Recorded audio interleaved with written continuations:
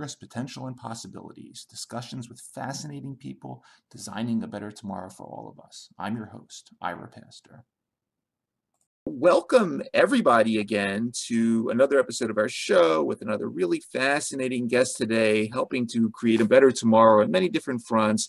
Uh, and today we are going to be segueing back into the area and the topic of aging and healthy longevity. We're going to be talking about dementia as well. And we have the honor today of being joined by Nora Super, who is the Senior Director of the Milken Institute Center for the Future of Aging, as well as an Executive Director of the Milken Institute Alliance to Improve Dementia Care.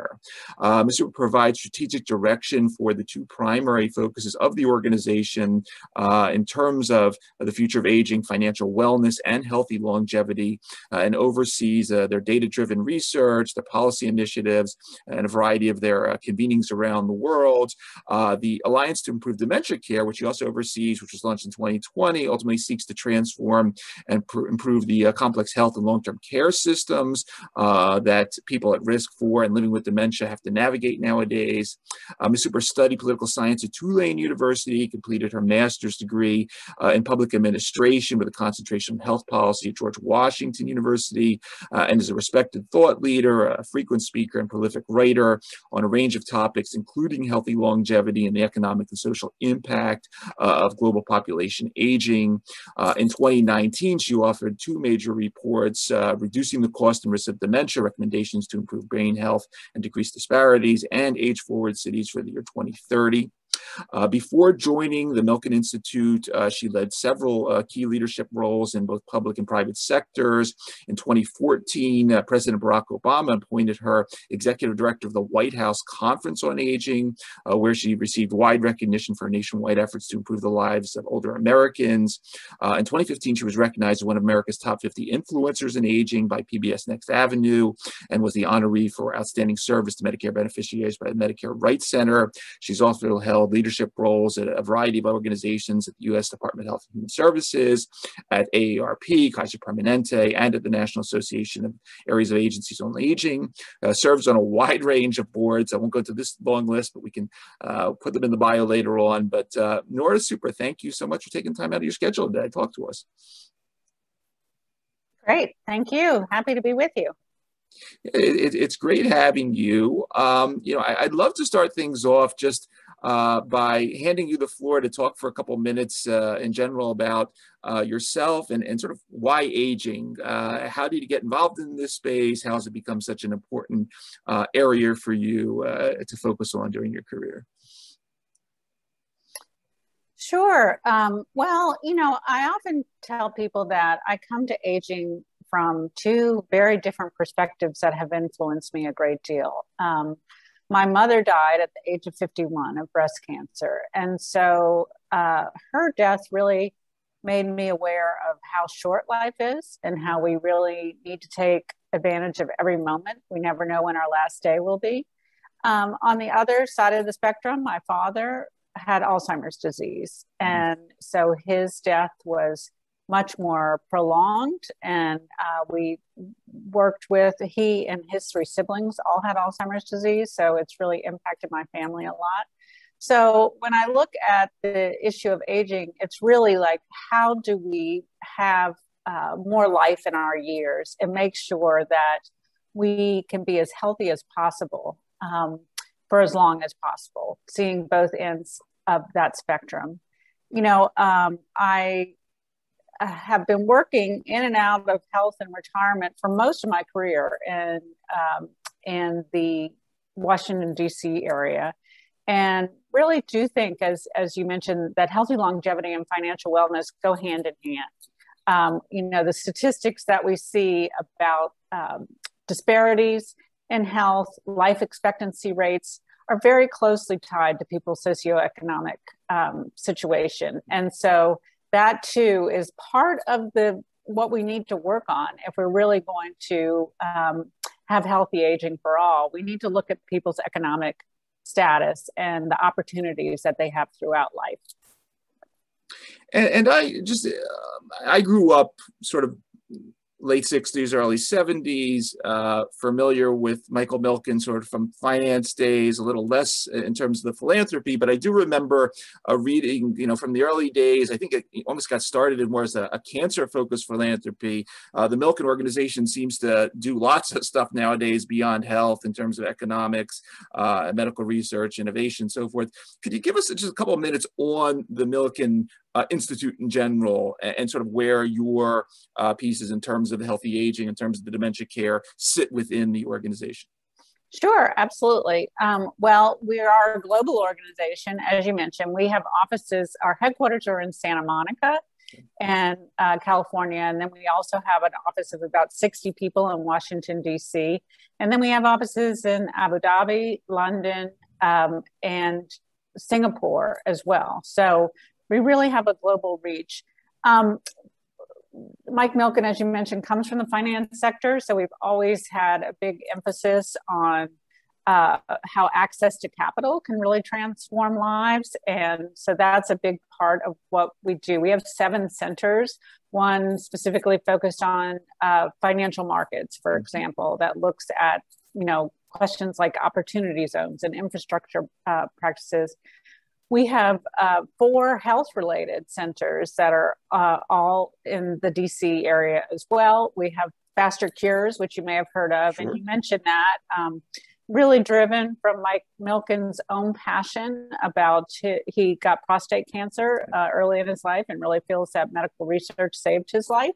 And so uh, trying to put, you know, uh, get some of those cures in the pipeline faster so that people who have diseases uh, get access to some uh, options to really um, beat their illness.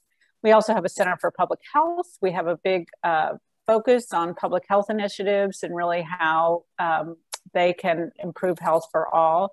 We have a Center for Strategic Philanthropy, which focuses uh, not only on health and, and has is doing more these days on uh, global warming and environmentalism as investors have become more interested in those issues and uh, but also working to really advise philanthropists on on how to best utilize um, the the assets they have uh, mm-hmm. to really make a difference. Um, so the Center for the Future of Aging sits within uh, all of these centers. We also have one, a Center for Regional Economics in California, that's much more based on what's happening in the state of California, which is its own little country, as you know. But um, the Center for the Future of Aging, um, half of our team is in California, half of our team is in Washington. Uh, we really look at these two areas of financial wellness and healthy longevity that we go through there. And we work collaboratively with many of our centers, as you might. Uh, aging really touches on almost everything. Um, and so all of these issues that we uh, work on across the Milken Institute, there's an aging component and an aging lens. And so we work collaboratively with the other centers and we take on uh, other initiatives that really focus more on, and we really do focus on the future of aging, mm-hmm. uh, really trying to change the trajectory for some folks um, as we see population aging really uh, happening. I would say that this is the first time in my career that I've worked for a global organization, and one of the uh, really things about the Milken Institute that interested me. And I've learned so much really about aging uh, across the globe and how it's different. And in our Asia Center in particular, we see really where we'll probably be in the next 10 or 15 years in the US in terms of the aging population.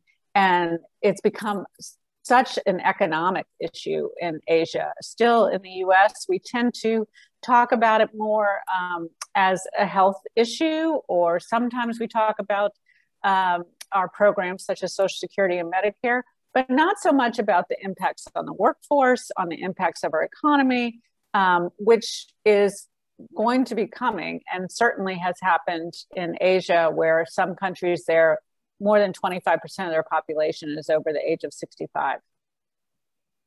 It's a it's a fascinating set of trends. And you know, speaking of those trends, uh, you you you wrote this very impressive piece for uh, the journal Public Policy and Aging Report.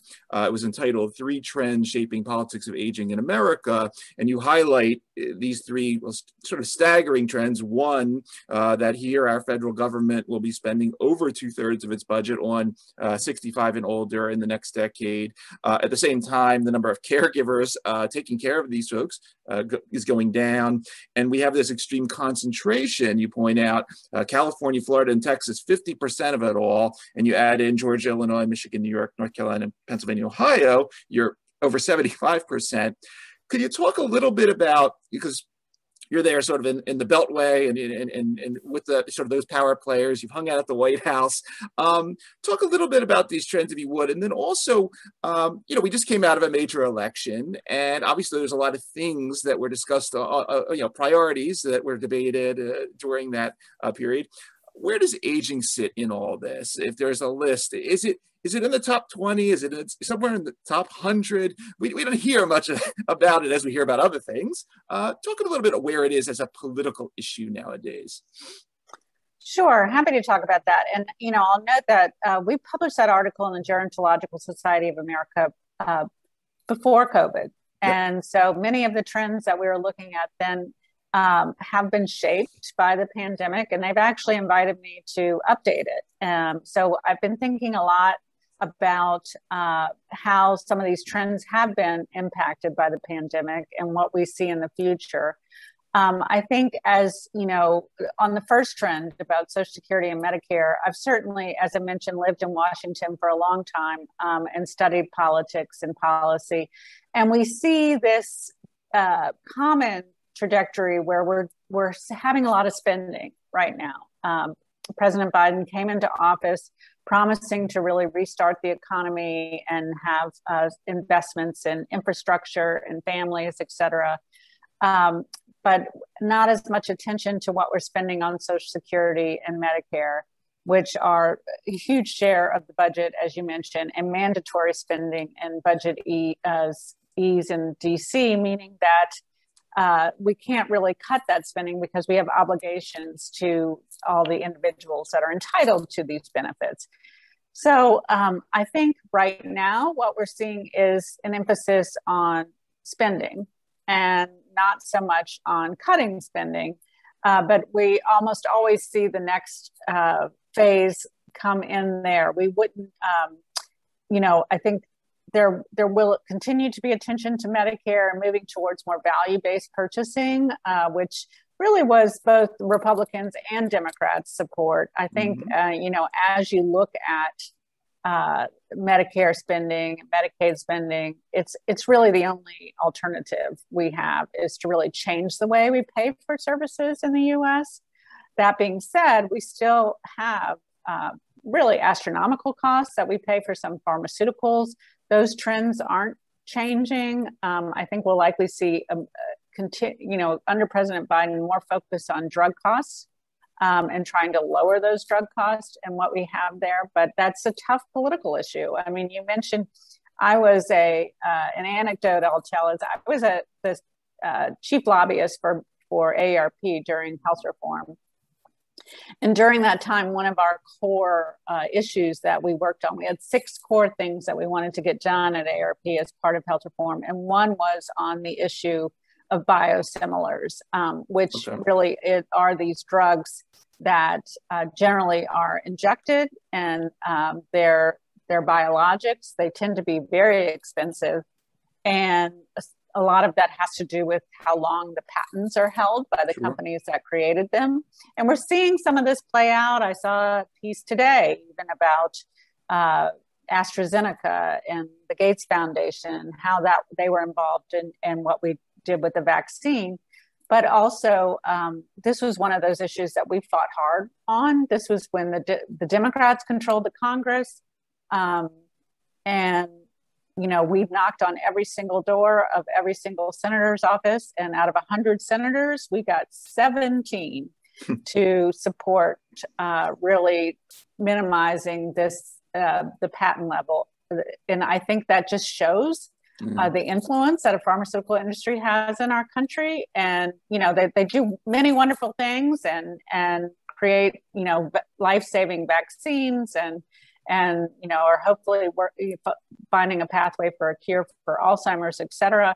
But they're also just extremely expensive. Um, and so it makes it hard for some patients to really afford those uh, drugs. So I think we'll see movement in in that. Uh, but but the thing that concerns me really is the intergenerational warfare, and I think I mentioned that some in this piece. Um, as we see, uh, you know, we've had recent reports. The New York Times had a piece uh, this Sunday on the front page about population aging and really how that's happening across the globe, where fertility rates are just declining everywhere. It's too expensive for people to have children. Um, that tends to be one of the number one reasons why people say they don't want to have more kids. And so we'll also see a trend, I think, into encouraging people to have more children, trying to do what many of these countries in Asia are doing, et cetera. But there'll be that tension between how much we're spending on older adults and younger adults um, in our country that will continue. I think the caregiver crisis is very real. Uh, you know, and we we saw this even uh, amplified during the pandemic because we saw many, uh, you know, stories about people that were really trapped in their nursing homes and assisted living facilities, not allowed to see their relatives and others uh, making people even more want to stay at home uh, rather than go into institutions, which puts a greater burden on the caregivers. We've yeah. seen women leaving the workforce because of this.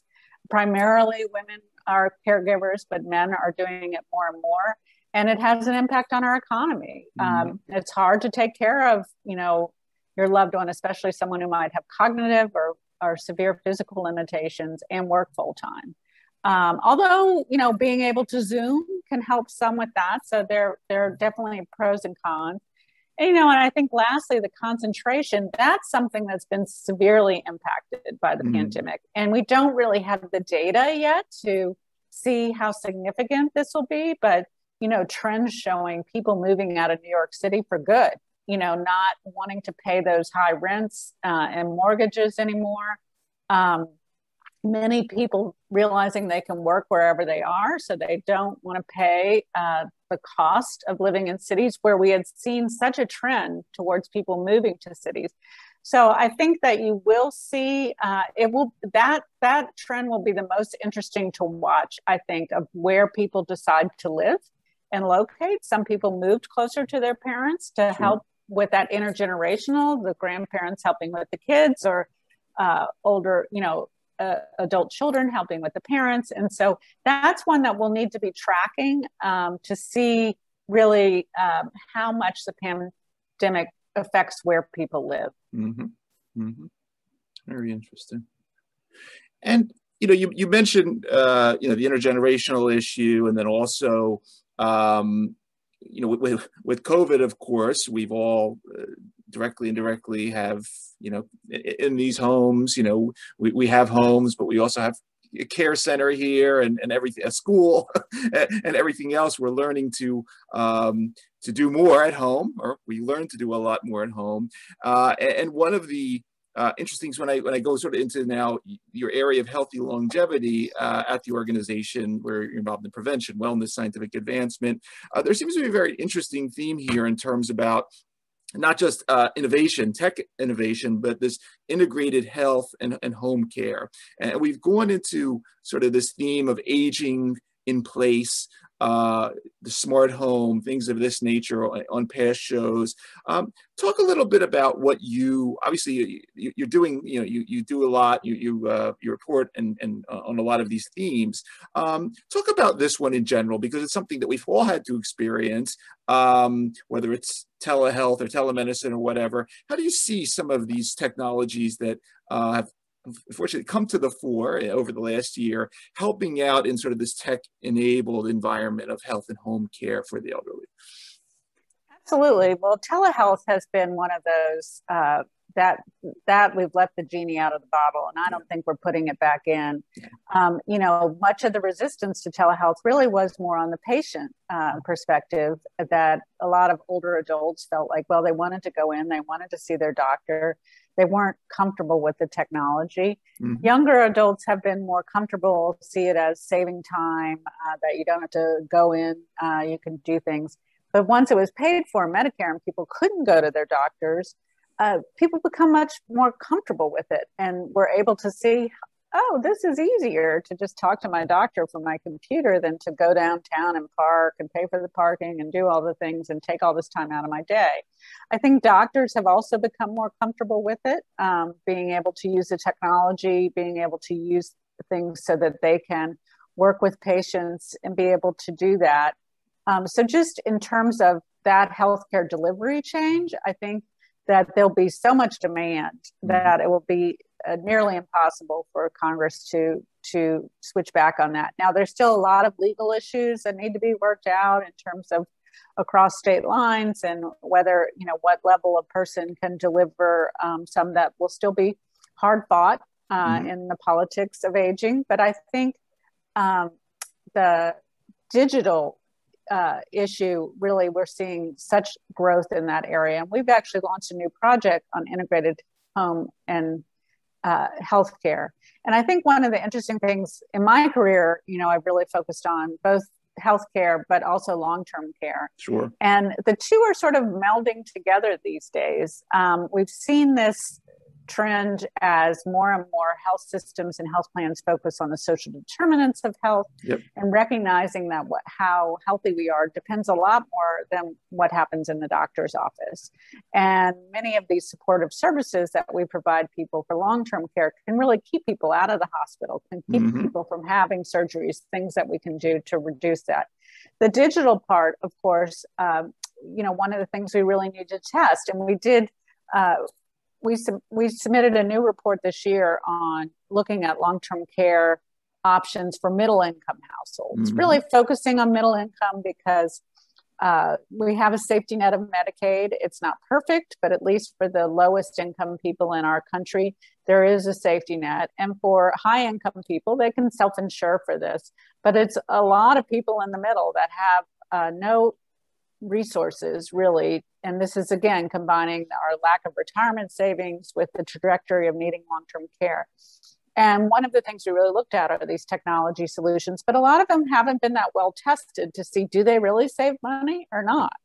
And i think that's one of the things that that we want to see going forward. You know where can we provide resources um, where where we can really make a you know really make an improvement in uh, the care that's delivered, but also do it in a cost effective way. And Ira, I want to go back to your question because I remember I didn't really answer where does aging fit into all this um, in the politics of aging.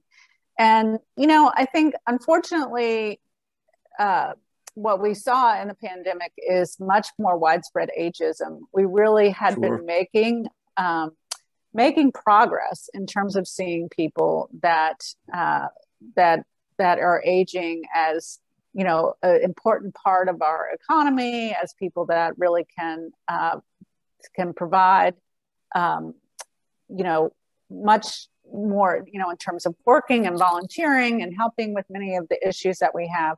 But because uh, covid unfortunately really um, affected older people more than younger people there was this ageism like well everybody over 65 you know like maybe they shouldn't even go back to work to keep our economy going. And this just really uh, focus or everybody lives in a nursing home or everybody's in assisted living. So i'm afraid that it's put us back into this negative view of aging mm. where there are people that need to be taken care of. And again uh, create some of that tension between generations. I also think you know having worked in the uh, White House under President Obama, mm-hmm. you know, as much as I admire President Biden and everything, aging was not an issue that he really wanted to engage in. Mm. And I think some of that because he's older himself and so right. didn't want to bring attention to those issues. Um, that, you know, there are definitely some upsides to aging, but there are definitely some downsides. So I think that um, we will see, and we saw with President Trump and President Biden really being okay with Social Security spending and uh, and Medicare spending.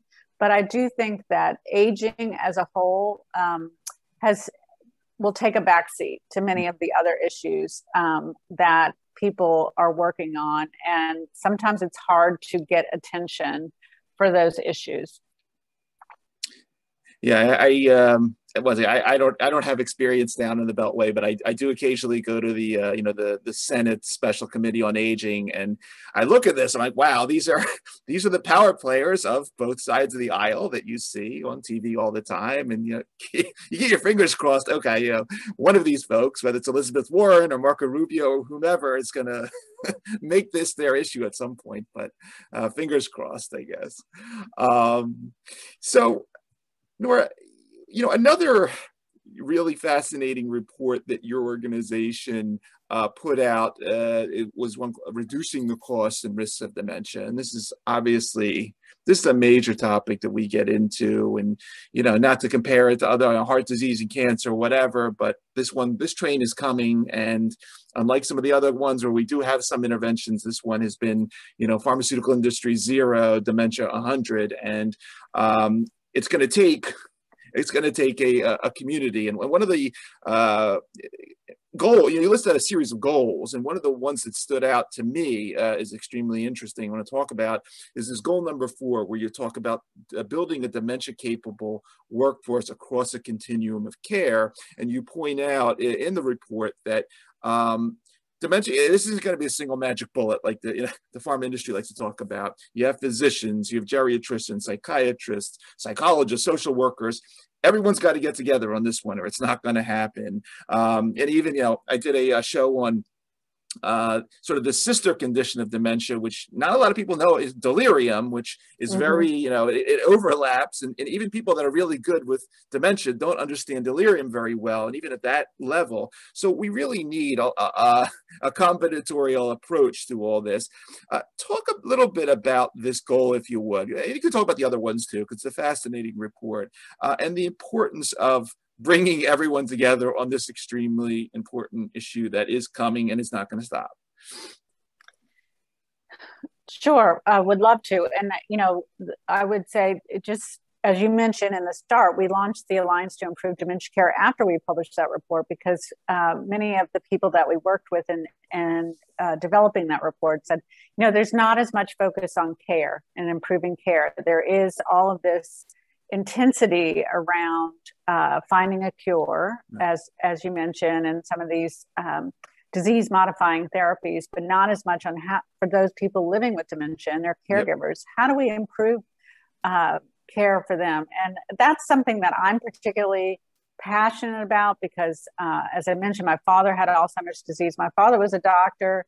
My sister was a hospital administrator. I'm a health policy wonk. And even with all of our knowledge, uh, we really went through quite a bit uh, trying to get him the right care in the way the healthcare system treated him um, with dementia. And, you know, I could tell many stories about that, but but I'm just very passionate about improving that care and certainly recognizing the whole person uh, that you know is admitted to the hospital living with dementia. And and we saw this you know tragically during pandemic when yep. caregivers weren't allowed to go into the hospital with people living with dementia. And and just how confusing and scary and um, you know difficult for people who have cognitive limitations to try to navigate the system by themselves um, is is really something i'm passionate about the dementia capable workforce is something that plays into that and uh, really educating health professionals and others about how to work with people with dementia. You mentioned uh, delirium, which is a great example with that, but also just general tips about how to work with someone who's agitated or confused or um, you know, uh, things that we learn from. Uh, we have many partners in our program, but you know, the Alzheimer's Association gives out some great information about how to work with people um, uh, living with dementia. Unfortunately, people get angry with them um, often because they can't answer questions and they get frustrated. And really, you know, um, raising your voice or asking them the same question over and over is not helpful. It's just going to make the situation worse. Um, so, but what we've seen is similar. You know, we mentioned the caregivers per se, but also um, just a trajectory of not enough people that are in gerontology or geriatrics. Um, when I was at the White House, one of the programs that we launched as part of the White House Conference on Aging that that um, I'm really proud of is the Geriatric Workforce Enhancement Program, mm. and that is one where they really are recognizing this. You know, we've been trying to recruit more people to geriatrics, and geriatricians will be one of the first to tell you, you know, it's one of the few specialties where you go to school for longer to earn less money. So there's not uh, a real economic draw for them. So really trying to integrate geriatric training into primary care is a big goal of the geriatric workforce assessment program and working across disciplines so that the occupational therapist, the physical therapist, um, many of the people that that older adults come into uh, contact with really have training about how to work with older adults and especially people living with dementia. And so a big part of our goal is trying to um, you know make sure that we are training that we're providing. We've just we've released two reports since that last one one looking at disparities. Um, i think you know, we know, and again, tragically, the pandemic really sh- shined a light on the fact that uh, we have huge health disparities between white and non white populations in our country. And this is true in dementia. African Americans are three times as likely to get dementia. Mm-hmm. Uh, Latinos are five times as likely. They're not part of the research trials. Um, so much of the research that's done is not uh, based on input from them. But also you know what are some of these underlying disparities that we can try to improve? And then looking at in the workforce is a huge spectrum. Our first report looked at detection and diagnosis early detection and diagnosis being one of the first things we know that can help people uh, really improve their brain health uh, even get their affairs in order tell their loved ones their wishes. So everything from early detection and diagnosis to end of life care um, mm-hmm. is really what we're trying to focus there. But, you know, the care really is dependent um, on how well trained people are. And I, and I just want to say too, sometimes we've had discussions with nurses and, and doctors who say, you know, we're doing the best we can. Don't, you know, don't bash us on this. And, and, and we recognize that. I'm a big proponent also of geriatric emergency departments, which are starting to sprout up all over the country which again for people living with dementia you know there's a san francisco project that shows uh, over 70% of people that come to an emergency department with dementia don't need to be in an emergency department mm. um, but because of their situation people get afraid and then it starts this whole cycle of they get admitted to the hospital and all of this what um, you know the geriatric eds really has trained people that can help divert and keep uh, people um, that that can work with them and and hopefully avoid eh, being admitted to the hospital or have a more tranquil environment for folks. So there are a lot of innovations that are happening, but not fast enough given our growing uh, elderly population. You know, people look a lot at the baby boomers now. Certainly, the, I'm on the very tail end of the baby boom population, um, but the the the leading edge uh, are in their 70s now. So, you know, in another 20 years, uh, we'll all be in our 90s, 80s, and 90s. And so that will be a much different uh, environment that we're that we're looking at. Absolutely. And, and while we're on this theme, before we we uh, we get into sort of the financial component of this, um, I just wanted to ask you one other thing because I watched you um, basically mod- moderate a, um, a group uh, at the Milken organization. It was uh, I forget when this was. Uh, it was it was called Building a Mental Health Resilience Amidst Uncertainty, and it was mm. obviously talking about this exchange. resilience is such an important topic. We don't think as much about it. It's kind of a cool word, but sort of this ability to, to rebound and and when something negative does happen, and you know you were getting into obviously the mental health issues, the the opioid and and the, and the drugs of abuse, and and how that sort of skyrocketed during this this last year and these periods of loneliness, not just just among the elderly, but younger folks as well. Um, talk a little bit about, about why your, your group in particular was interested in this theme of mental health resilience. Well, mental health is, is, one of those issues of the Milken Institute that is goes across centers, yeah. um, and and we are big proponents of seeing that mental health is just as important as physical health. Yeah. Um, and I think the pandemic again really showed that that uh, not paying attention to people's mental health. You know, depression is the number one disability for workforces um, in the in the U.S. If not, and I think globally, I think that's actually a World Health Organization figure. Um, and you know, we don't pay enough attention to that. Now, certainly for older adults, as you mentioned, we see depression associated with uh, chronic illness, which may be more uh, more likely when you're older. We see it related to job loss. Some people were forced to have early retirement or are having trouble finding jobs when they want. And so, um, this mental health component of aging is a huge part. I'm particularly passionate about it. I uh, talk about my own um, journey of mm-hmm. having a major depressive disorder throughout my career, and I've recovered. And I think that um, it's an important message of hope and recovery. Too often, again, we people don't want to talk about mental illness because there's such a stigma associated with it, and so people uh, pretend like they didn't have any problems and and unfortunately, I think that that makes uh, people, you know, live in a closet and not willing to talk about what are some of the treatments, what are some of the things that that work for people. And the epidemic of loneliness that was here before the pandemic, and of course, it was just amplified. Um, and as you mentioned, it's not just older adults. Certainly, those older adults who uh, could not leave their assisted living facility, and many times nursing homes not even leave their room mm-hmm. suffered uh, tremendous loneliness and and not able to see their loved ones. Um, but young people who haven't been able to go to school, um, you know, just uh, people like us who are working out of our homes now.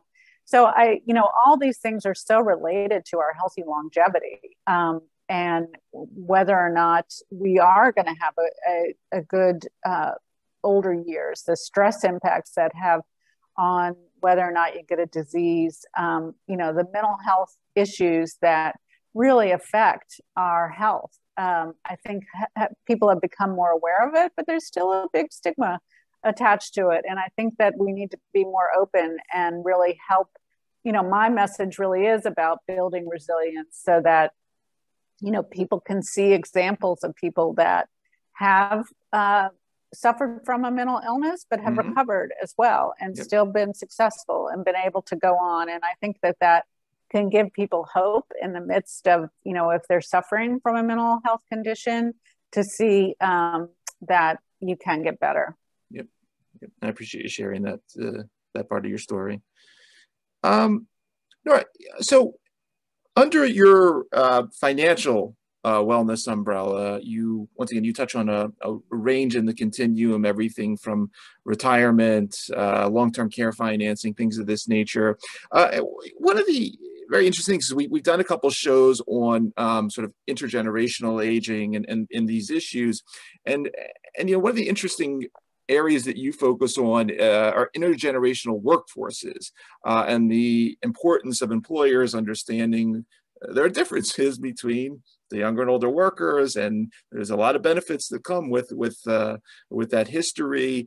Um, talk a little bit about what you're seeing on this front. Uh, I, I, know this is a major focus of within uh, these different areas that you look at, but um, walk us through a little bit of what you're seeing in terms of intergenerational workforces and, and some of the, I guess, the, the older type of employers and sort of the new economy, uh, sort of longevity economy uh, folks as well.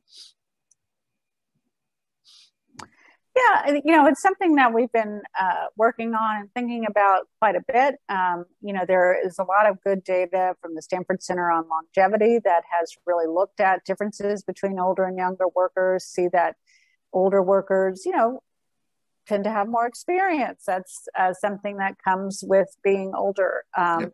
Also can uh, modify their emotions more that are more level in terms of you know we've sort of seen more uh, at our in our older years or don't uh, get stressed out about the same things so so there there are definitely some things that older workers uh, bring to the table. I think that you know the elephant in the room that we have to talk about is often older workers are the first to be let go or given an early retirement because they tend to make more because they have more experience or their healthcare costs more.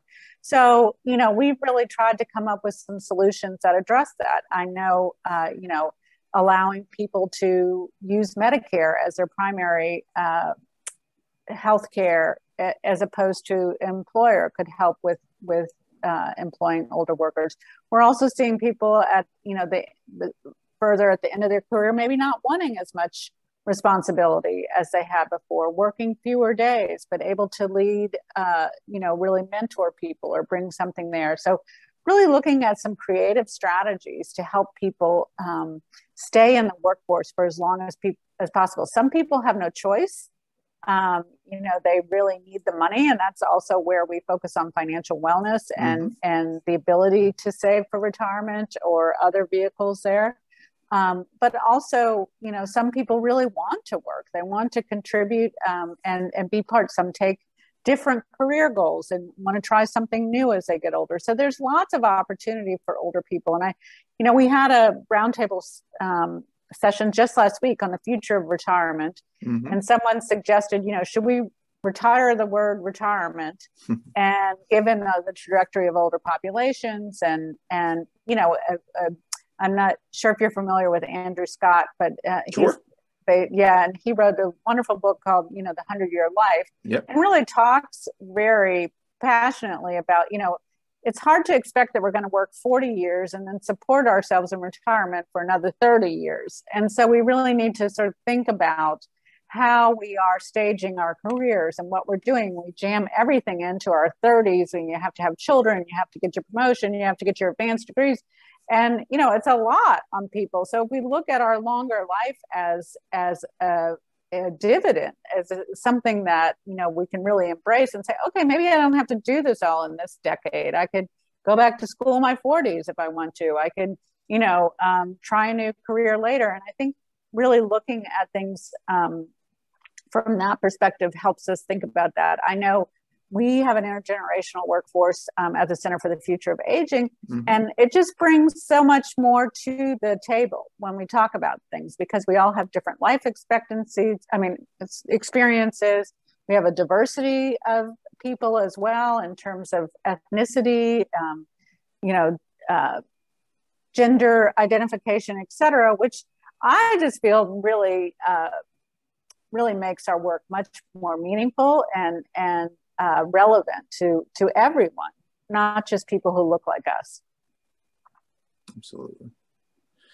Uh, one, one other thing I want to ask you about. I know this doesn't fall directly under uh, your purview, but you know we mentioned at the uh, the beginning of the show, uh, Mr. Milken's, you know, the, the, history there in terms of uh, his prostate cancer, then the, developing the sort of the FasterCures initiative, and, and sort of uh, the the need to speed up some of these innovations. We talked about dementia and sort of the, how tough a road that's been.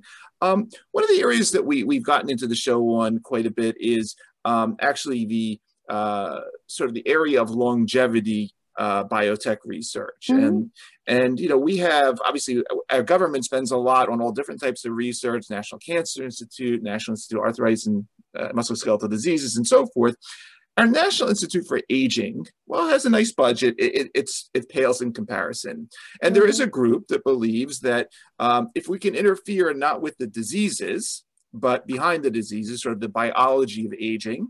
Uh, it doesn't mean we are more immortal. it doesn't mean that we live for 500 years, but we compress a lot of the disease that you know we normally deal with for 30 years to, to the very end of life mm-hmm. and that's trillions of dollars so they call it the longevity dividend mm-hmm. um, i'd just love to get your thoughts I, I, know this isn't directly under you but if you could just because uh, you're out there at conferences and in the halls of politics and so forth um, thoughts on aging research in terms of slowing the process of aging and uh, how we can maybe make this a, a, an issue that at least gets the attention of, say, the National Cancer Institute uh, and put on uh, the topic of aging. Uh, of course, and it, it, sounds like you've been talking to Nir Barzilai and, and yeah. Uh, David Sinclair and all, all the, all Jim Mellon. And, and we have you know we have good relationships with all of them as well. Um, i would say you know it's very promising the research that they're looking at. And if you, you talk to david sinclair or Nir barzilai they'll tell you they're they're trying to design it. So we live healthy and then one day all of our organs fail. And right. i'm like well you know that sounds great um, if we can and i think that they're learning a lot about the biology of aging and what we can reverse that really lead to disease. The leading alzheimer's researchers are also looking at this yeah. the alzheimer's disease discovery fund that are very interested in this biology of aging question and how do we look at that? So i do you know as we were talking about before and i think what we're learning more about alzheimer's disease it's a very complex disease. Yep.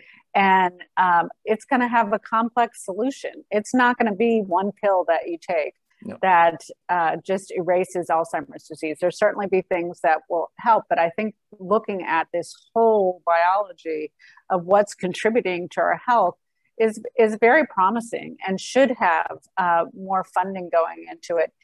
I will say politically, it's difficult to get uh, research into some of these issues that aren't so focused on, you know, a cure. This is a part where we need to change the politicians' minds so that they have there. There's also the budget issues. You know, when I was uh, at HHS, we really worked on the diabetes prevention program, and to get the Office of Management and Budget to score that, the you know Washington Turner being mm-hmm. able to like how it will go in the budget was really difficult. I know the mm-hmm. White House had to put a lot of pressure on them to say, look, we can we see this, and basically the if you don't know about the diabetes prevention program, it's a simple model. It's really, you know, getting people to lose 5% of their body weight. And it has a huge impact on their diabetes. And it's really diet and exercise but our budgets and it's even worse in you know privately i mean publicly held companies that that have to cater to their stockholders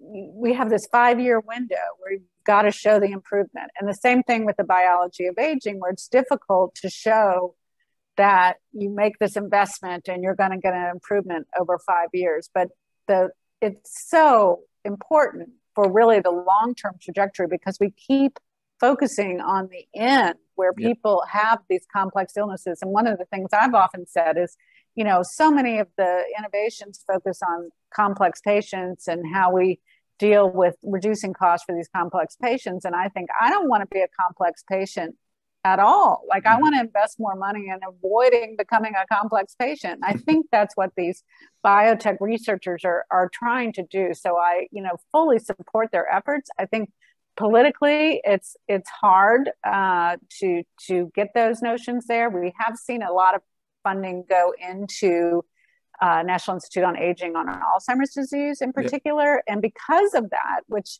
they have have a lot uh, more funding than they have before they have been able to fund these types of initiatives. So i do have hope um, and you know encourage people to keep applying for those types of grants to looking at some of these lower cost alternatives um, but it's you know it is one of those trends in you know I, I just recently wrote a piece about mental health too. I yep. see the same thing in mental health. It's the focus is all on that one pill that's going to make you better rather than focusing on the underlying causes of your mental health condition in the first place. And so we as a country have been focused on these quick fast cures. Let's put a lot of money into it take a pill and move on. And so you know, I'm a little pessimistic about our ability to really take that long term view given our political cycles and people wanting to see that but but i wholeheartedly endorse it excellent uh, Nora, while I have you, um, just a final sort of wrap up. Um,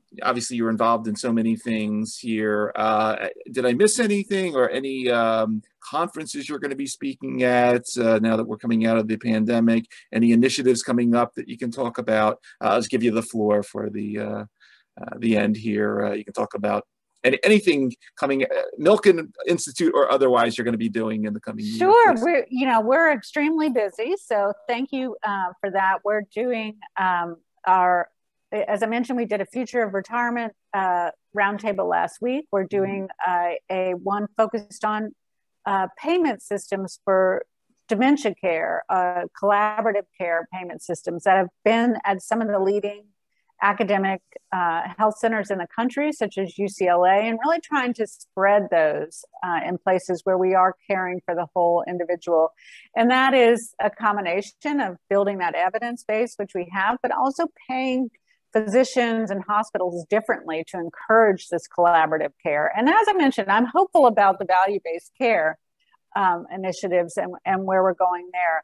We're also been working with the Alzheimer's Society of the UK, which has been uh, really fascinating and doing mm-hmm. some uh, where they're doing many things similar to us, really trying to focus more on care uh, over cure and integrating health and long-term care. Um, so that that is an initiative where we really have understand the differences between the European systems and the UK system and the US and and uh, what works, but there are far more similarities than differences, I must say. Mm-hmm. And uh, we have our Future of Health Summit at the end of June, which mm-hmm. uh, people can log into. Uh, almost all of our sessions will be live streamed, um, and we have several on aging uh, that we'll be focusing on. And then our global conference is what the Milken Institute is known for. Uh, we typically have you know, uh, five days of programming in Los Angeles is, is generally in the spring.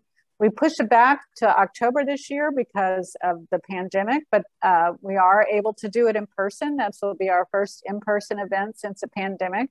We normally have about four to 5,000 people. We'll have about 2,500, but again, a lot of this will be live streamed. We'll have um, many of the international panels will be there. So I encourage uh, your listeners to tune in to those, to mm-hmm. uh, look at our websites. We're, we're staying very um, active and engaged. I, you know, as I mentioned, I'm doing a piece uh, for the Gerontological Society, updating the three trends. Hope to have that done uh, this summer, as well as uh, the Alliance um, for Lifetime Income, which I'm a member of, which really mm. is looking at ways uh, that we can use deferred annuities or other products to help people with the mm-hmm. financial wellness um, and making that tie to long-term care.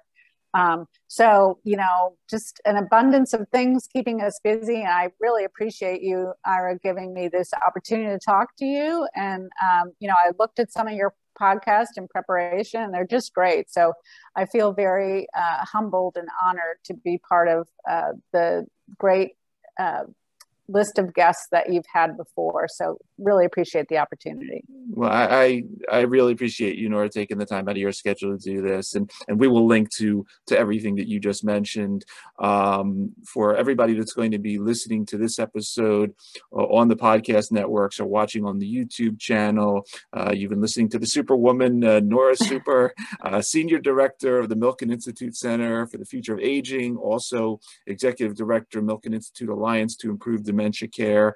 Uh, once again, Nora, thank you for taking the time out of your schedule to do this. Thank you for what you're doing at the Milken Center.